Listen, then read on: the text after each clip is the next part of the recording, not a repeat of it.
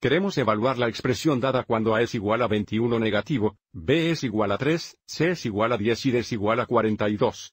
Para hacer esto, realizaremos la sustitución de A, B, C en la expresión y luego evaluaremos la expresión utilizando el orden de las operaciones. Entonces, comenzando con la expresión la cantidad, A más B, dividida por CD, que significa C por D, realizaremos la sustitución. Ahora, antes de realizar la sustitución, colocaremos los valores entre paréntesis. En el numerador tenemos un más B, que sería negativo 21 más 3. En el denominador tenemos C por D, que sería 10 veces 42. Tenemos una expresión en forma de fracción. Simplificamos el numerador y denominador por separado, luego simplificamos la fracción. Entonces, mirando el numerador tenemos 21 negativo más 3, que es igual a 18 negativo. En el denominador tenemos 10 veces 42, lo que equivale a 420 porque el numerador es negativo y el denominador es positivo, o porque un negativo, dividido por un positivo es negativo, podemos escribir esto como negativo 1820. Ahora necesitamos simplificar la fracción simplificando todos los factores comunes entre 18 y 420. Y debido a que ambos números son pares, sabemos que al menos tienen un factor común de 2. Para mostrar esto, escribamos 18 como 2 por 9 y 420 como 2 veces 210.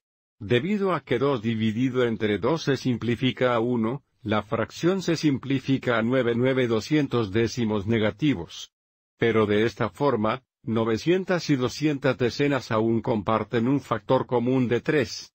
Para mostrar el factor común de 3, Escribamos esto como negativo 3 veces 3 sobre 3 veces 70.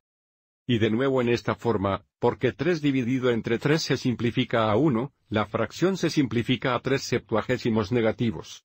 Y finalmente en esta forma, el único factor común entre 3 y 70 es 1 y, por lo tanto, sabemos que ahora está en forma más simple.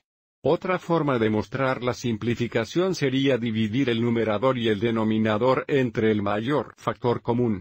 Entonces, si reconocemos que el máximo común divisor de 18 y 420 es 6, podríamos haber simplificado 18 428 negativos dividiendo el numerador y el denominador entre 6, y obtenemos el mismo resultado de 370 negativos. Entonces, este método sería más rápido si reconociéramos el mayor factor común, pero si no lo hacemos, este método de simplificación es una buena manera de ver los factores comunes. Antes de irnos, verifiquemos nuestro trabajo en la calculadora gráfica. Para hacer esto, vamos a usar esta expresión aquí, pero debemos incluir un conjunto de paréntesis alrededor del numerador y el denominador. Entonces comenzaremos con un paréntesis abierto para comenzar el numerador. Tenemos algunos paréntesis innecesarios aquí, pero seguiremos adelante e ingresaremos la expresión de esta forma de todos modos. Entonces tenemos en el numerador negativo 21 más 3, paréntesis cerrado para terminar el numerador, dividido por paréntesis abierto.